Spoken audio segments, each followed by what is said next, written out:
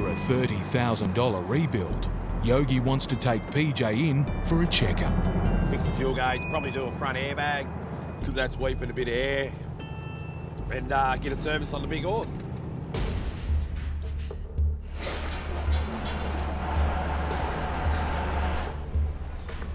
Finally, the word's in. No worries, eh? No worries. PJ's been given a clean bill of health. PJ, you would say, is A-OK.